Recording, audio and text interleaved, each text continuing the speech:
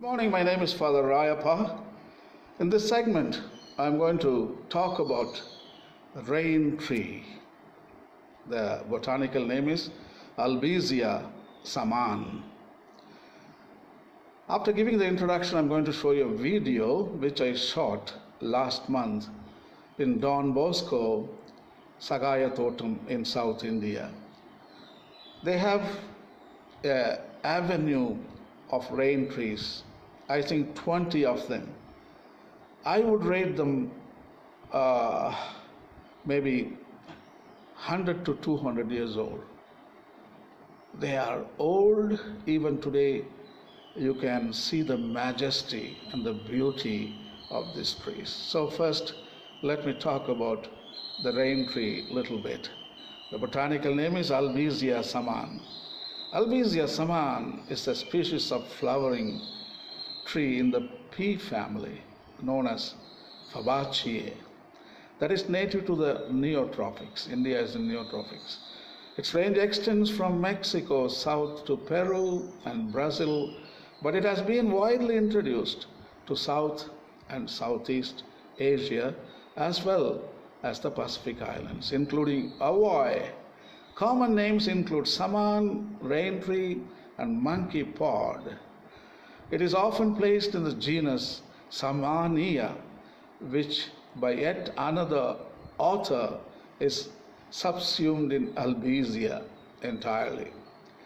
The lineage classification is as follows Kingdom Plantae, clade angiosperms, that means seed bearing trees, unranked eudicots, unranked rosids, order Fabales, family Fabaceae, genus Albizia, species name is Albizia saman.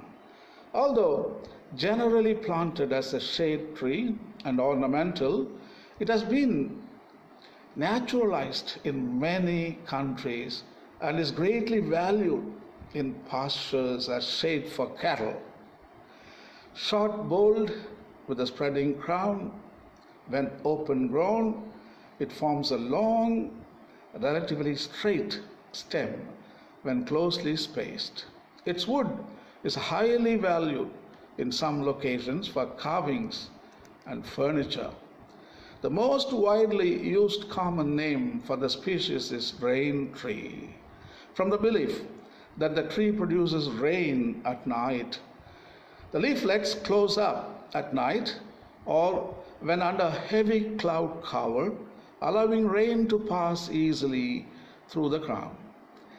This trait may contribute to the frequently observed fact that grass remains green under the trees in times of drought. However, the shading effect of the crown, the addition of nitrogen to the soil by decomposition of litter from this leguminous tree, and possibly the sticky droppings of cicadas, uh, uh, grasshopper insects, they look like them, cicadas the insects in the trees all contribute to this phenomenon. The Hawaiian common name monkey pod is used here because it is a logical derivation of the scientific name Pithecellobium, that is monkey earring in Greek.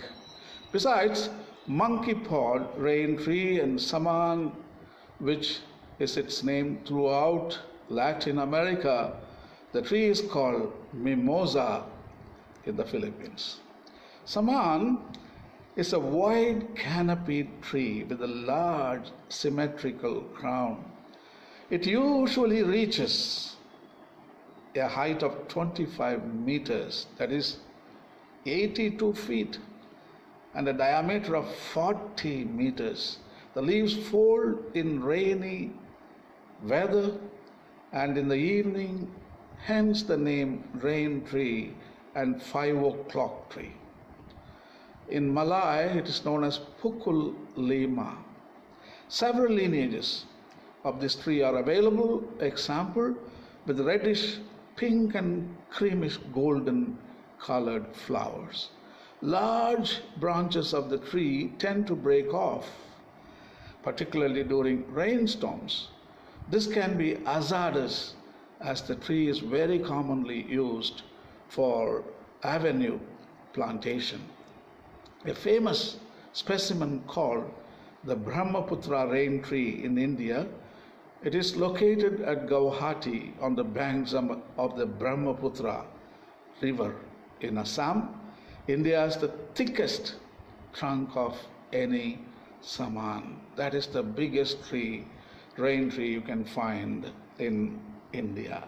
It's approximately 12 feet, that means 3.66 meters diameter at breast height. That is big.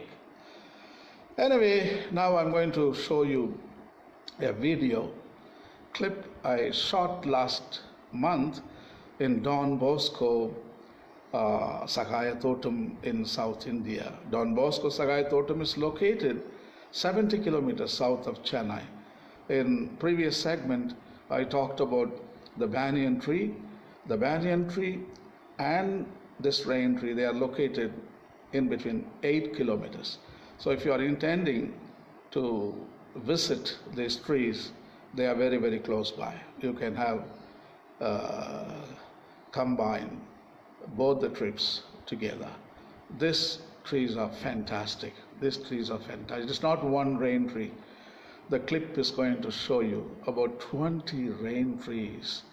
It's avenue of rain trees. Because Don Bosco is a religious place and uh, they will not cut them down.